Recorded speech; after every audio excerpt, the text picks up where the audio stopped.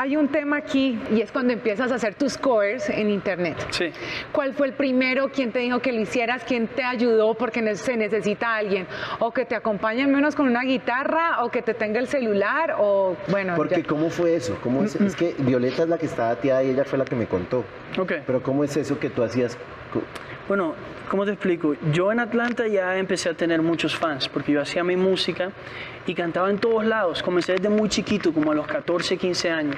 Desde la tarima más pequeña con 5 personas, después 100, después 500 y así empecé a crecer en mi ciudad. Pero Atlanta, la población latina es muy pequeña. Entonces yo, yo me quedaba pensando, ok, obvio, no, no tengo los recursos para ir a un país latino y promocionar mi música. ¿Qué puedo hacer? Entonces lo que hice fue que empecé a coger canciones, les cambiaba los versos, los ritmos, Canciones pegadísimas. canciones pegadas que me encantaban a mí y les ponía mi toque, ¿verdad? Romántico. ¿Por qué piensa que soy romántico? No. Porque yo, lo- yo le siento como No, mentira, sí. un colorcito romántico en tus canciones, o sea, en los covers. Le pongo lo que yo sentía, ¿verdad? Si es una canción que tiene mucho sentimiento de discoteca, se lo pongo, lo que sentía, pero era muy real para mí. Entonces empecé a hacer eso, llamé a mis amigos, hey bro, vamos a hacer un video, tráete la GoPro, nada profesional, hagámoslo, de, ah, pasémosla bien. Entonces hice Ahí vamos de J Balvin, ¿verdad? Pero le cambié muchos, muchas cosas y lo subí a YouTube y, y esa canción llegó a 3 millones y medio de views. Wow. Después subí el perdón, subí mis lágrimas, pierdo la cabeza y eso empezó millones y millones de views. Lo que pasó es que las discotecas, los festivales, eh, todos los eventos de esa área de Estados Unidos me empezaron a llamar.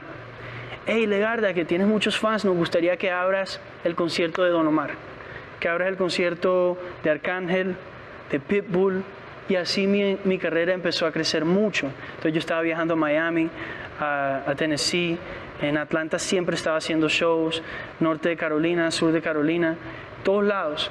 Entonces lo que pasaba es que el internet multiplicaba mis shows y mis shows multiplicaban mis redes.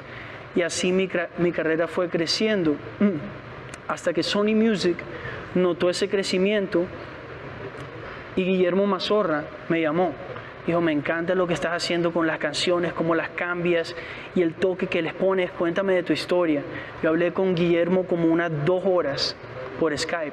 De todo, Guillermo quería saber todo, de- desde la última vez que tuve una novia hasta la última canción. O sea, quería conocerme y eso me pareció muy chévere porque sentí que quería conocerme como persona antes de cómo vamos a sacar dinero aquí, ¿verdad? ¿Qué nota? Ese es Guillermo. ese Guillermo y, y entendió el proyecto y el futuro que podía tener el proyecto. Por eso desde el comienzo me, llamó mucho la atención la compañía Sony Music. Después de que me reuní con Guillermo y hablamos por, por horas, yo dije, esta es la compañía para mí.